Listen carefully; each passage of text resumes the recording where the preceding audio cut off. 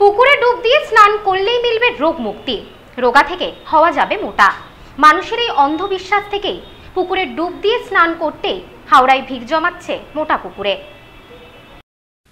বিশ্বাস, পুকুরে ডুব দিয়ে স্নান করলেই মিলবে রোগ মুক্তি।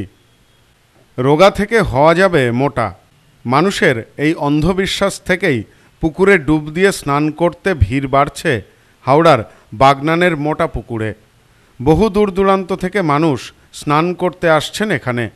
বাগনানের বাটুল গ্রামের মোটা পুকুরে প্রায় প্রতিদিনই ছুটে আসছেন গ্রামবাসীরা। মানুষের অন্ধবিশ্বাস এই পুকুরে ডুব দিলেই নাকি মোটা হওয়া যায়। সেই অন্ধবিশ্বাসে ভর করে এখানে দলে দলে মানুষ ছুটে আসছেন। প্রতিদিনই এই ছবি ধরা পড়ছে হাওড়ার বাগনানের মোটা পুকুরে। এমনকি এই পুকুরের জলে ডুব দিয়ে নানা রোগ থেকেও নাকি মুক্তি মিলছে। শুধু পুরুষরাই নয় মহিলারাও আসছেন দলে দলে। বাগনানের বাটুল গ্রামে চণ্ডী মন্দিরের পাশেই রয়েছে এই পুকুর। মানুষের বিশ্বাস এই মোটা পুকুরে ভক্তিভরে স্নান করলে রোগা মানুষ মোটা হয়।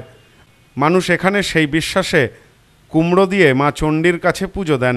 তবে কুমড়োই নয় চাল কুমড়ো বা নুনের বস্তা দিয়েও মানুষ এখানে পুজো দেন বলে এলাকা সূত্রে খবর। বহু শত বছর আগে থেকে এখানে মানুষ বংশানুক্রম, আমাদের বংশানুক্রমে আমরা দেখে আসছি যে মানুষ পুজো দিতে আসছে, মানত করছে, তাদের বিভিন্ন রোগ নাড়া বিশেষ করে মহিলাদের বিভিন্ন রোগ নিয়ে তারা মানত করেন। সেই যখন সেগুলো সেই রোগ নাড়া সেরে যায়, তাদের মনস্কামনা যখন পূর্ণ হয়, তখন আবার তারা এসে ঢাক ঢোল বাজিয়ে একবার মিছিল করে পুজো দিতে আসে।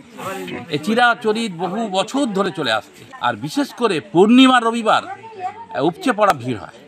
এখানে যে নিয়ম আছে যে কাপড়টা পরে স্নান করে সেই কাপড়টা মুছে আবার ফেলে দেয়। তাই এখানে এত কাপড় চোপড় পরে থাকে। হ্যাঁ কারণ স্বাভাবিক- কারণে বেশিরভাগ মানুষই একটু শতচ্ছিন্ন কাপড় পরে স্নান করার চেষ্টা করে যাতে করে ওটা ফেলে দিতে হয়। আর এই গাছে যায় তেল হলুদ সিঁদুর লাগায় লাগিয়ে ঠাকুরের কাছে পুজো দেয় এবং মিষ্টি কুমড়ো এবং চাল কুমড়ো দিয়ে পুজো দেওয়ার একটা রীতি চলে আসছে বহুদিন ধরে। ফল পাকুর তো আছেই তার সঙ্গে মিষ্টি কুমড়ো এবং চাল কুমড়ো দিয়ে পুজো দেয় মাকে। মনস্কামনা পূর্ণর পর পুজো দিতে আসে তারা এবং নুনের বস্তা দিয়ে পুজো দিতে আসে। শুধু মোটা হওয়াই নয় মানুষের বিশ্বাস ভক্তি ভরে এই পুকুরে স্নান করলে নাকি মহিলাদের নানান রোগ সেরে যায়। সব মিলিয়ে এখন আকর্ষণের কেন্দ্রবিন্দু এই মোটা পুকুর। আমার ছোটবেলায় থাকতে অনেক মানে প্রবলেম ছিল ঠাকুমা এখানে একটা পুজোর করেছিল খুব বাচ্চাবেলা একদম। ওই বছর খানে কি এক বছর হবে? তোকে দিয়েছি। মার কাছে বলে গিয়েছিল মা বলছে বলে চল তাহলে এখন ওইটা আস ছেড়ে ফেলি। আচ্ছা।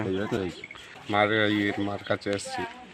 স্নান করব পুজোটাও দিয়ে যাব পুকুরে স্নান করতে আসা যুবক মনোজ মণ্ডল বলেন শুনেছি এই পুকুরে স্নান করতে পারলে রোগ মুক্তি পাওয়া যায়।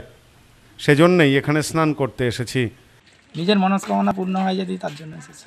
এর আগেও কি এখানে এসেছেন? না এই প্রথমবার। চ্যানেলে দেখার পর ভাবলাম যে দেখি ঈশ্বরে যদি বিশ্বাস থাকে নিশ্চয়ই রোগ সারবে। সেই মতো আচ্ছা। করে এসেছি। হ্যাঁ, এটা তো অবিশ্বাসের জিনিস হলেও অলৌকিক বলে তো একটা জিনিস আছে। ঈশ্বরে বিশ্বাস সবাই করে। সেই বিশ্বাস নিয়ে আমরাও এসেছি। যদি সফল হয় নিশ্চয়ই ভাববো যে ঈশ্বরে বিশ্বাস সবাই করবে। এবং আমাদের পাশাপাশি অন্যজনকেও আমরা বিশ্বাস করতে বলব। স্থানীয় এক বৃদ্ধ জানান এখানে মহিলারা রোগ মুক্তির জন্য স্নান করতে আসেন। পুটুলি করে চাল এনে পুজো দেন, মনস্কামনা পূর্ণ হয় বলেই মানুষ এখানে আসেন। রীতিমতো মানুষের কাছে ভক্তির জায়গা হয়ে উঠেছে বাগনানের মোটা পুকুর।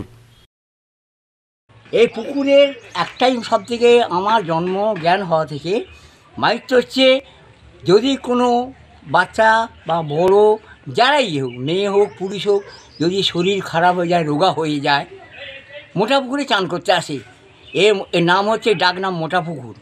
না হলে চণ্ডী পুকুর বুঝলেন? কিন্তু চণ্ডী পুকুরকে বলে না মোটা পুকুর সবাই বলে বুঝলেন?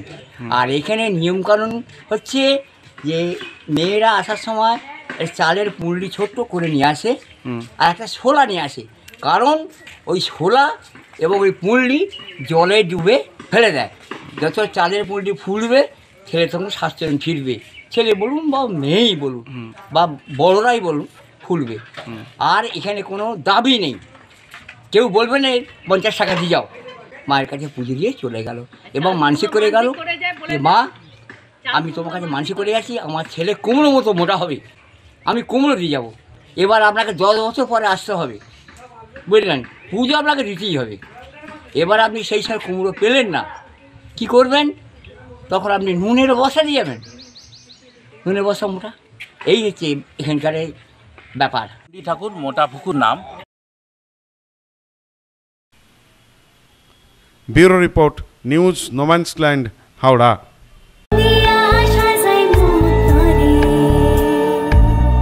নারী সৌন্দর্য শাড়িতেই সঙ্গে রয়েছে আদি মোহিনী মোহন কাঞ্জিলা